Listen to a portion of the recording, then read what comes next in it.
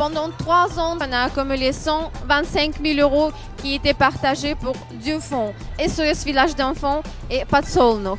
On a toujours deux objets. Un- Organiser un événement très exceptionnel au niveau où les invités Этот бал уже в четвертый раз э, собирает такую титулованную и именитую публику здесь, в Люксембурге. help children. That's the main goal, and that's why we are working, and that's why we're here.